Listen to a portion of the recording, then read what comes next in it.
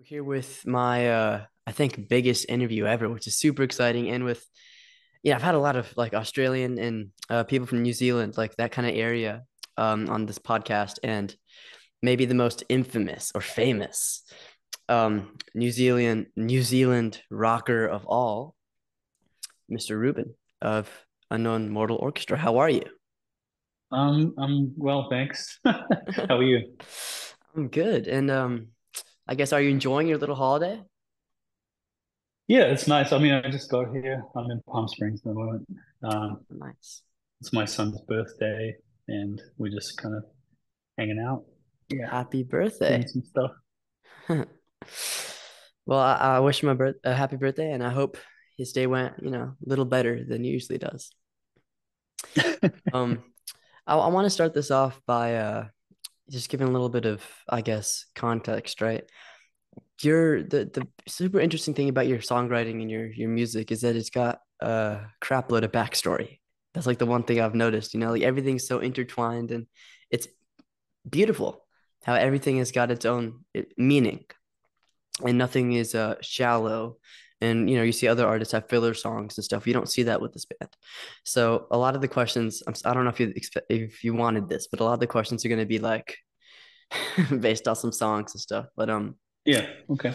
something that's I really hope I remember what they're about.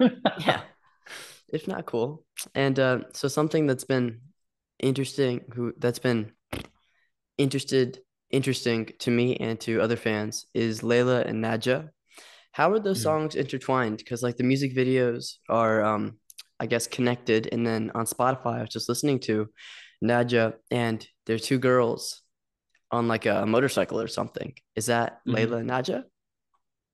Uh, yeah, I guess that's the the concept. Um, part of it is collaborating with um, Viralata.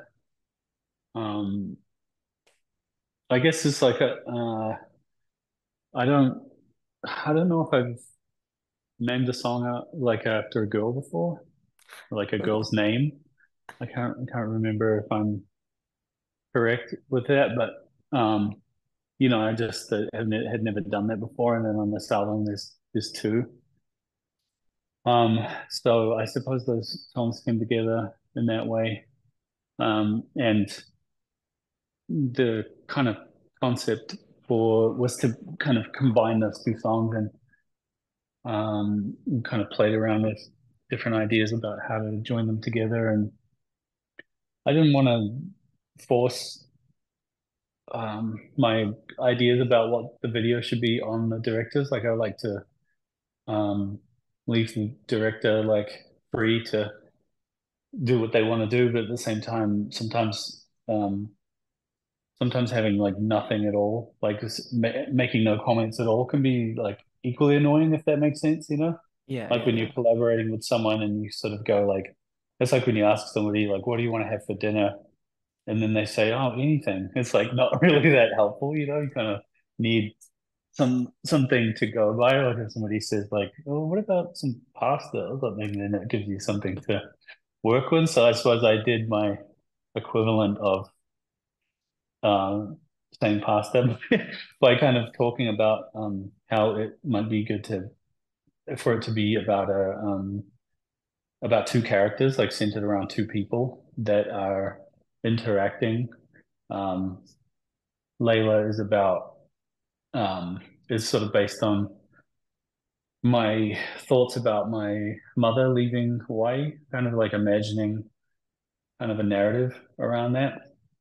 Um, I usually don't write narrative um, songs. Like I don't, I, I usually write my songs about things that have happened to me and then kind of turn, create a narrative around that. But with this, it was like the, just like a exercise in like imagining uh, somebody else, you know, like a, um, kind of like making a little movie in my head about my mum sort of fleeing Hawaii or whatever. And, um, and her brother also. Um, left Hawaii, um, different circumstances and stuff, but I kind of combine them together to kind of like as a way of inspiring me. It's sort of a song about like escape, you know, escaping where you're from. Um, and then Nadja is a bit more as kind of typical UMO song where I'm kind of like being cryptic about things um, that have happened to me or conversations that I've had. And, um, you know, taking a, a lot of the songs that I write, maybe like love songs, taking kind of like maybe pithy comments or texts or or things that happened, like kind of taking them out of context and then placing them on their own in the song, and then um, and then seeing if they're interesting, you know. Um, and hopefully, there's like, you know, it's it's like a confessional or it's like truthful, but at the same time taken out of context that makes it kind of mysterious at the same time. If that makes sense. No, it doesn't. I think you did it extremely well, you know, in context of the song. It is super, I guess, misplaced, but it's perfect. It really is. And um wow, that is super interesting in the the way you described that. Did you enjoy writing it from a different perspective? Is that something we'll see again in future projects?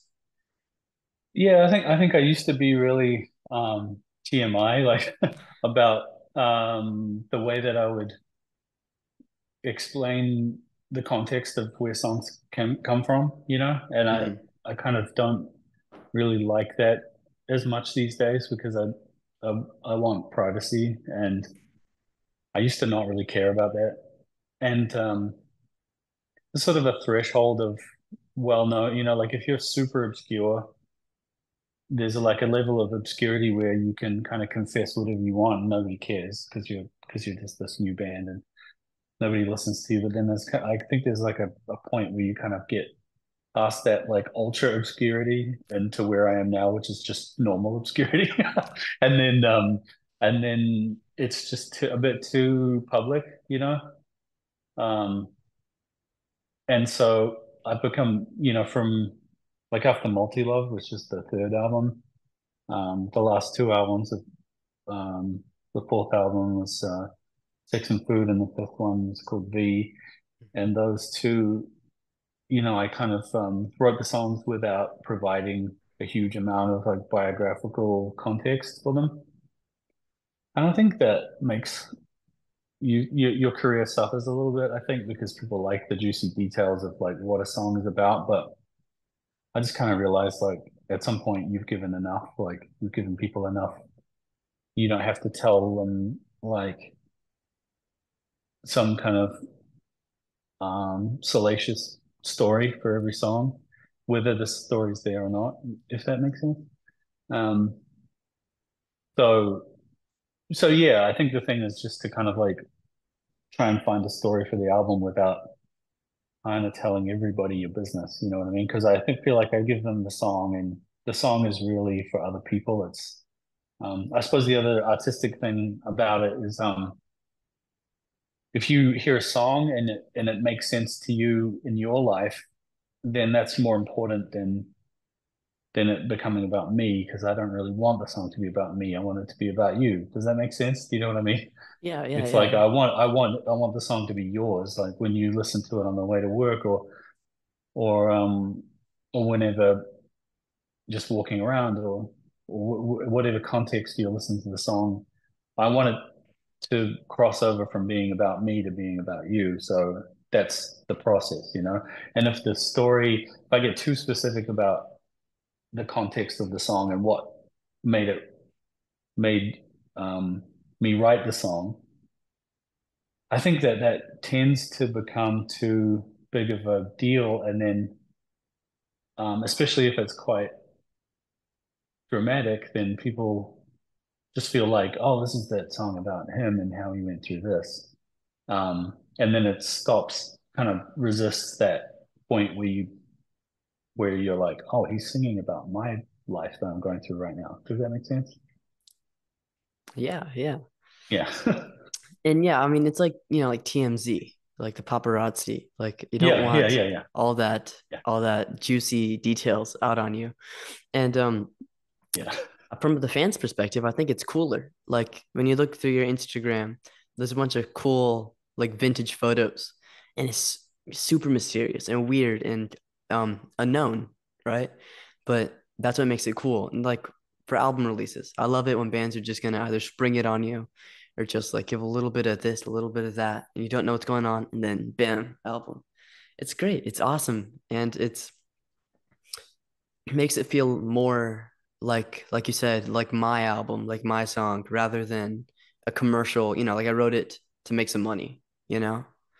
Yeah, yeah. I mean, it's like I don't. It's not like I'm going out of my way to be super cryptic or anything, but at the same time, you know, like the way that the things that I like, you know, I like things that have space, uh, space to, you know, they, they don't kind of like hold your hand through the whole thing. I, I like, I enjoy that. So that's the, the way that I make things. That's the way I do, you know, like the Instagram is just a bunch of pictures taken by, um, people. And my, my only rule now is that I prefer all of the pictures to be on film, and that's just kind of like an arbitrary rule that I that I set. But within the boundaries of that, it's like a lot of people that I know shoot film, and if they give me a picture and they're like, "Oh, hey, here's a picture that I took on tour," or, or it's a picture um, that I took um, of you, or or whatever, um, then I just post what I receive, kind of. You know what I mean? Like it's like I like this picture, so I'm going to post that, and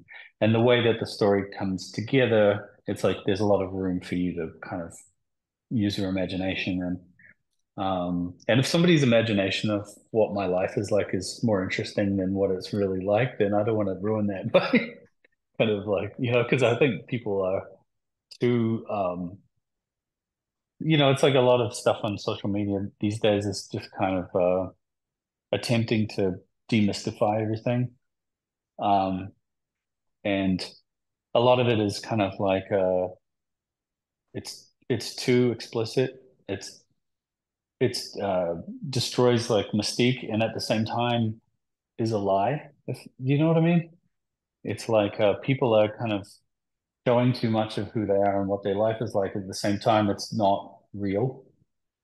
Mm-hmm. So, um, so that's the worst of both worlds. I'd rather it be the the ideal would be um, for the mystique to be um, intact, and then at the same time, uh, my life, if you knew more about it, is is more interesting than the social media rather than less. You know, um, and and that's then that leaves me my interesting life and private, and then it also um, gives people the most powerful kind of art. Yeah, yeah, they get to paint their own pictures, which is mm-hmm. super smart, you know. And um, the film, uh, like it's funny because I've been getting into film cameras.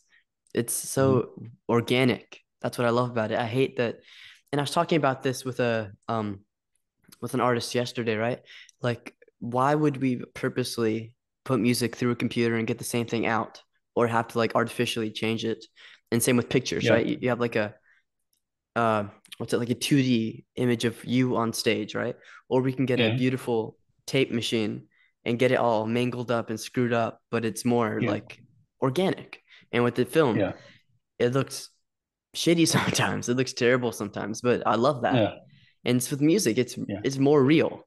And that helps me like as a musician, quote unquote, right? That helps me because then I'm like, well, then if he can screw up, I can screw up, and that's okay. And then you know, and, yeah. and in the same sense with pictures, if I if I take a shoddy picture, but then unknown mortal orchestra put a shoddy picture up on their Instagram, then well, okay, may, maybe it's not as bad as I thought it was, and you know, just that yeah. um humanization, and it's so important in music, and it's so important yeah. in life and we see that like through your music. I definitely see the humanization. It's, it's nice to see. It really is. And uh speaking of food like pasta what do you what do you like to eat? Um at the moment i, I eat everything because um I, I, went through like a, a vegan phase and then when pandemic hit i just kind of for some reason my that didn't survive pandemic so I don't know. I, I, I like cooking when I'm not on the road. Um, when we're on the road as well, like we're very into, you know, some of the guys are in the band are like really into wine, and I'm I don't really know anything about wine, but you know, some of us are into beer and like different boozes, and then and then also like we're into like trying to find interesting or delicious food. So, um, uh, I'm, I'm actually um, making uh, pasta sauce tonight. My family and uh, I don't know what, I, what, what have I been making. I made a uh, char pork last week, Ooh, like right before we left, and um, I made um, I make steaks a lot these days. ooh, I love a good Um, steak. you know, stuff like that. And I'm, you know, and you know, like a steak and mashed potatoes, you know, making that perfectly is really good. hmm Um, I, and also I kind of like try to find the best spots um to eat.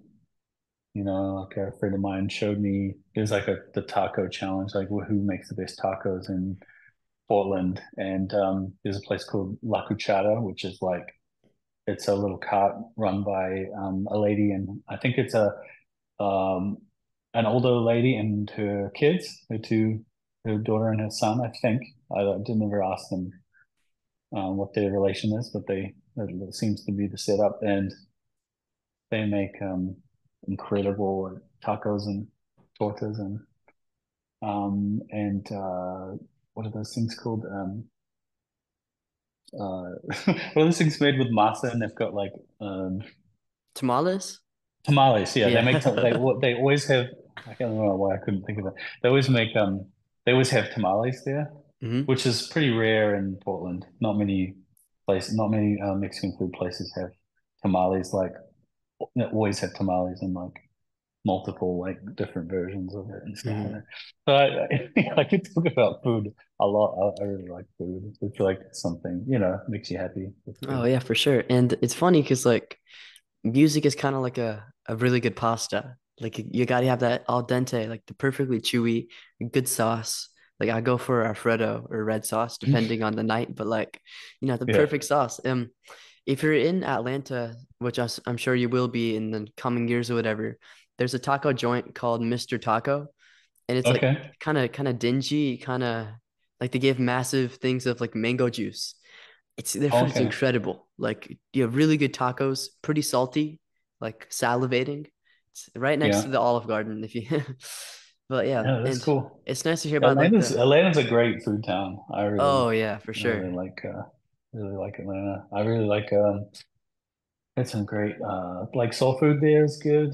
Um Mm-hmm. and uh I went I, this is actually this um last time we were there somebody told me that there there was a Australian place uh, Australian pie place and then um they sent some pies to like meat pies you know like Yeah, yeah, yeah, like yeah. we have in New Zealand and um And they said, yeah, it's like an Australian place. And then I, as soon as I, I tried the pie, um, I was like, this is not Australian. This is New Zealand. And then, um, it turned out it was right. Like, uh, the guy, the guy's New Zealand. I was like, I just knew as soon as I tasted the pies, I was like, this guy's a Kiwi. I, I know that this is like a New Zealand pie.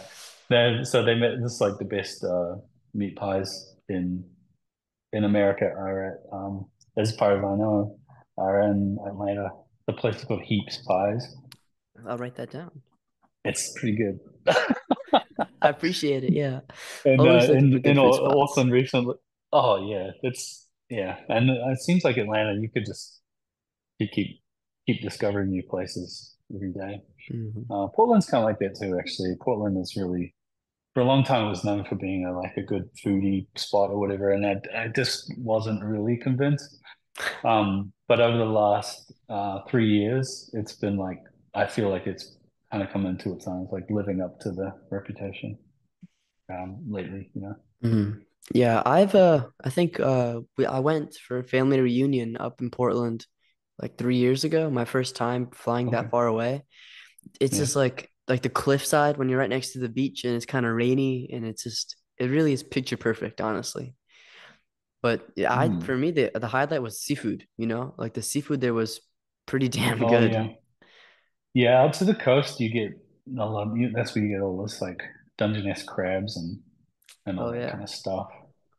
Yeah, there's some good seafood out there for sure. I think crab would be my ultimate, um, the thing I enjoy the most out there. Yeah. Oh, that's hard. amazing.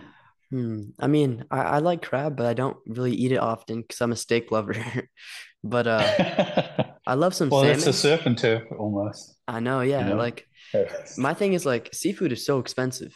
Like I can get some Oh ground yeah, beef for like really cheap and then make some delicious food, but seafood is Yeah. damn expensive. I'm not, Yeah, that's not always in the budget, but That's true, yeah. I love a good steak. We're gonna spend hmm the whole time just talking about food. Um, We can do that. oh yeah, I mean, sure. I, I think it's like uh I think it's pretty similar. Like I think cooking, although I don't think I'm like a great like the great world's greatest cook or anything, but I do find that cooking is um cooking is is similar to making music to me because I do feel like a lot of what I do, like I like using different um equipment and reamping and all the things that I do with similar to kind like marinating and things like that. Like the the kind of food that I make, it's a lot of stuff where I like to prepare it the the day before, you know, and then and then kind of like do another stage like the next day and stuff like that. And I, it it does end up kind of being similar. Like uh and I've I talked to my bandmates and stuff about that and um uh Jake, the bass player um in the band, like he he's a pretty big he's pretty into cooking as well and I feel like he we have a lot of conversations about like the similarities between you know it gets like super nerdy because you kind of like try something out you think next time I'm gonna do it like this and kind of slowly improve and improve and improve so it's fun that way so and it's uh, the thing about and it's similar in the sense that you're you're making it for some someone you know Yeah. like you you enjoy the process for yourself and you eat the food yourself or you enjoy the process of making music. And I, I make music initially for me to listen to and then but then the um the real joy comes in like sharing it with people and then kind of I know like watching my kids eat it seeing if they like it or whatever and, or like watching people you know watching people enjoy your music and it becomes part of the world you know? Hmm And what I've noticed is like, especially younger kids seem to be the harshest critics. Like when I'm oh playing it's it's hard yeah I'm playing some music, like I'll have my my playlist on shuffle, and then yeah one of like the sixth graders I know will be like trashing my music taste the whole time because there's no filter, which yeah is a good thing. Like same whenever I'll I'll make like a I made a meatball sub and I burned my finger doing it, but it was a damn good meatball sub, and uh, yeah I showed my friend and they're like, that looks absolutely horrid.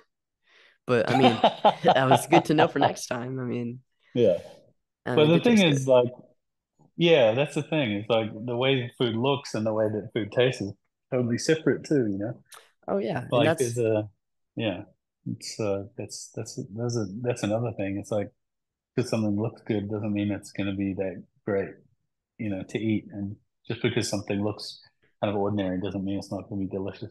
It reminds me of this um this place in Portland. I can't remember what it's called right now. It'll it'll maybe come to me. But um, they they, they make chicken. It's like a I think a Thai spot, but they only do this chicken, chicken, especially chicken and rice and um, it doesn't look like that special, but it just is incredible. Like an incredible place. Um, maybe hopefully it'll come to you. if, there's a comment section uh, makes me want to check it out. Like check my um my texts to see what yeah, what it was. and it, that's perfect because it's like um, you know when you'll you'll see like a a really beautiful looking cake, like all chocolate, and it's like decadent, and you eat it, and it's like, oh, that wasn't as good as I was thinking. It's kind of the same with like album Yeah, covers, you know? I mean, you guys have top yeah, tier album covers, but sometimes they'll be like absolutely trash album covers, right? And you listen to the music, yeah, it's incredible. It's yeah, mind blowing almost. And then like yeah, sometimes you have the, you know, like the top quality pictures and they went through all that PR and paid all that money to get the best photographers and everything. It's like, wow, that music's kind of kind of mid. But yeah. Again, it's that it's yeah, a that's surprise. yeah, that's that's a that's always disappointing when the the cover is incredible and then the music doesn't live up to it. yeah But. I think it's like uh yeah, I, I suppose it's it's equally disappointing to me when um someone makes a great album and then the cover's not that great because I come from a visual art background, you know, so I Mm. kind of like think of um the cover of the record as being like almost as important as the as the music inside, you know. Exactly. So um, I kind of, um, and also I, I'm a big, like when I'm shopping, especially for vinyl, I'll often just, um, I don't like, I'm not the kind of vinyl shopper who will make a list of, you know, things that I want and seek those things out. Usually I just kind of wander around the store looking for things that jump out at me from the packaging. Um, and that's the most enjoyable way to shop for vinyl for me is just to like look for things that look interesting to me and it's kind of like when i crossed over into doing that i was really shocked at how um it never fails me like um maybe it's just because i've spent a long time shopping for music you know and Mhm. i can just kind of tell by the way that someone's presenting the music that whether I'll like it or not, you know. Mhm. Um, uh, but yeah, it's not it's not a one to it's not it's not exactly that I like look for the best packaging, um, and that'll be music that I like. It's more like there's just a certain vibe that the packaging will give me, even if it's kind of slightly bad. I'll uh, like this is gonna be, you know, it's like the when you go to uh, to bring it back to food. It's like, you know, sometimes you go to a restaurant and it looks busted, and you just you know that's gonna be the best, Yeah, you yeah, know, yeah. food ever because it's just, you know, it's like there's certain giveaways um, that a place um, that looks really run down is gonna be gonna have you know really bomb food or whatever. But yeah, Yeah, I completely agree. And for me, it's like um like 70s album covers or like the I, I hate to I don't want to like bring hate to an album cover, but um sorry, my brother's running around to being a total idiot upstairs. But um uh was it like Queens of the Stone Age? They did their new album and I love Queens. They're like my top yeah, I really want to get them on the pod, right? yeah. But dude, their new album cover looks not so great. And it's the same with like with Genesis album covers. Hmm Like some of those look so dingy, but at the same time, Yeah. again, going back to food, right? Like if it's just Mm. perfectly dingy, if it's perfect, like it's un- run down Yeah. enough, like you know Yeah. that's gonna be the absolute bomb. That's the way I feel about those albums. Yeah. Like they're incredible albums. It could be bad, it could be better art, but it adds to it. Yeah. Yeah. Queens of the Stone Age, I feel like they're not um I feel like Queens of the Stone Age is very eclectic, uh has a very eclectic history Oh yeah, for sure. like with record covers. Oh yeah, oh yeah, for sure. And that's like the cool thing is same with your guys' records, right? You can see the uh the transitions, like the different musical phases that you're going through. Like the first record has a nude image on it, right? And then we transition into like I don't I can't come up with it on top of my head. Like different album covers and different ideas. Yeah. But I mean that is Yeah, cool, I think right? I think the second album has the second album has nudity. The first album is a building, and the second album has has the um the witch on the cover. I think that's the one you're talking about. And that's like kind of red. Is that what you mean? Uh for Queens? No, no, no. I'm talking. Oh, I, I thought you were talking about UMO. Oh, yeah. No, I mean I see that Yeah, with you most uh, too though, but yeah. yeah. And that is it's like Um, yeah. I think Queens of the Stone is like. I think the thing the from memory, like the the thing that runs through their records that ties them together is kind of like um bold color, like graphic images, a lot of illustrations over photos, right? mhm. Um, symbols, um, stuff like that. Yeah, I wonder if they, I wonder if all of their records were designed by the same person. I don't know. I've never looked into that. I know that uh, they have like a I forgot the dude's name, like Boneface or something. Uh, Oh, he he does a lot of the similar art, but you know, I hope if I get them on the pod, I'll make sure to ask him that, you know. Yeah. So uh here, this is something that, you know, we're going completely off the script, even though I don't really have a script to begin with because I'm a procrastinator. But I don't, you know, this is just it's nice. And um something super interesting is I, I love your tattoos and I love tattoos just in general. My mom does not hmm like tattoos because she's like a she's a mom. But um Yeah. what do what do you think tattoos symbolize in terms of artistry? Like I feel like there's a, certainly a bias. Like whenever you say you're a tattoo artist rather than a musician, some people, you know, shy away. And that's kind of that's kind of dumb in my opinion. But um, what what other connections do you think there are between tattooing and music? Um, well, I'm not really sure. I suppose the thing, my connection to my first connection to tattoos was that I went to art school. Hello? Oh, Yep, yeah.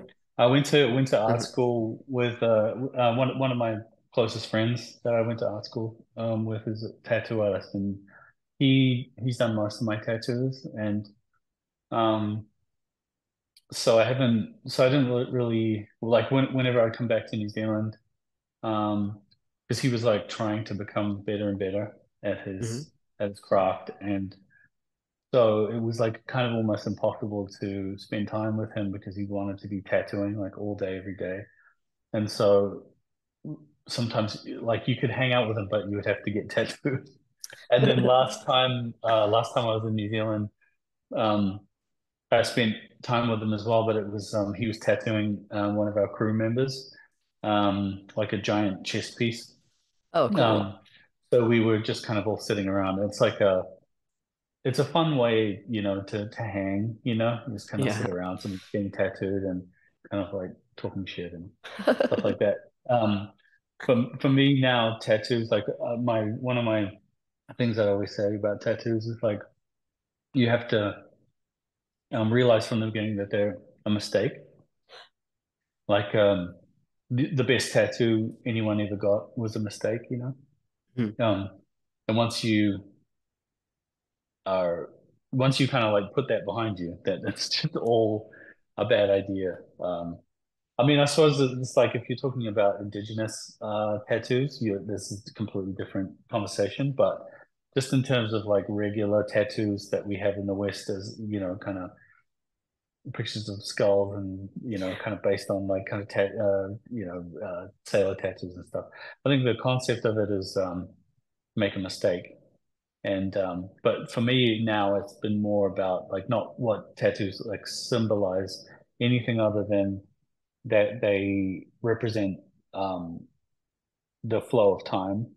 Hmm. Um, that you know you get um, a tattoo when you're you get a tattoo when you're like 22, say, and then you get it, and then you get a tattoo in your 40s or whatever. It's like there's going to be time between those two things, right? And they, the, the decision you would make to what tattoo you would get when you're in your 20s is when you're in your 40s would be totally different. And the tattoo itself will be literally be faded and like Yeah, of yeah, yeah. spread out and fade, you know, it's like, um, um, you know, and I've always kind of like, like the idea of being one of those guys that's like an old man and has a bunch of like blue tattoos all over his body, you know, and they just and they kind of remind you, you know, of, of certain times in your life. You know, like I got this. This is a mistake I made at 21. This is a mistake I made at 28. This is a mistake I made at you know 35. You know, and throughout your life, you kind of um, accumulate all of these mistakes, and they kind of like all kind of um, take you back. It, it's kind of like another thing that connects to music. You know, like a lot of the reason that I make write songs is to um, remember a, a, day or remember a a period of time and have um, a kind of time um, capsule that I can go back to um, to remind me of a certain time of my life, remind me of a certain relationship or um, a certain painful time or um, a certain person or you know these things where you can kind of like put the song on and then um, and then go back to that time. You know, there's a lot of uh, pieces of music that I try not to listen to uh, too much because I don't want to wear them out. You know, Yeah, yeah, yeah. um, um, because I know that if I put them on then um, then I'll be able to go back to this place and it might be a totally different country, a totally different decade. Um, and yeah, I suppose that's become tattoos for me too. You know, I, I get tattoos that specifically are really just there to prompt my memory and keep me from forgetting uh, certain things that happened, and and it ties to photography too, because I that's why I started taking um, film is because I just thought it was an, an interesting way to get into a new thing, like a new hobby, you know. But also, um, I kind of found that the pictures on my phone, they just don't evoke. They're not as evocative as the ones that I've taken with a film camera. And I'm, mm-hmm. I'm thinking that's really, really weird that film is closer to memory than than the pictures I take on my phone. I, I don't really understand that, and I re- don't. Re- I I'm scared of appearing super pretentious by saying that, but I just find it's true. Like I just find that um, that film, the way it kind of captures light, sometimes it just it takes me back to the memory. Whereas the phone, I don't know what the phone does, but the phone changes. It changes the way the image looks, and then when I look at the picture on my phone, uh, it doesn't take me back to the moment in the same way that film does. And, and I really don't know how to explain that, and I, I hope that I don't come across like a pretentious douchebag by by by saying that, but it's just sort of something that I've noticed. Yeah. No, it's totally true, and uh, I love your I love your philosophy about tattooing, because um you know I'm sure I'll get a, a important meaningful tattoos or mistake somewhat later in my life or sooner wherever it happens but i love that you know because that's that really is true you know like i um well it was like my first time away from home like three years ago uh, yeah. at a summer camp. And one of my friends yeah. bought a, a dingy $40 Polaroid. And there's this Polaroid yeah. of, it's like a picture that I still have of me after we hiked a mountain like this. And you cannot see shit. It's entirely black. it's completely black. And um, I cherish it so much. Like I have that on my wall. And I just remember, you know, wow, I was, that was a sweaty day. It was 100 degrees. We did the hike and I was pissed that you could not see me in the goddamn photo.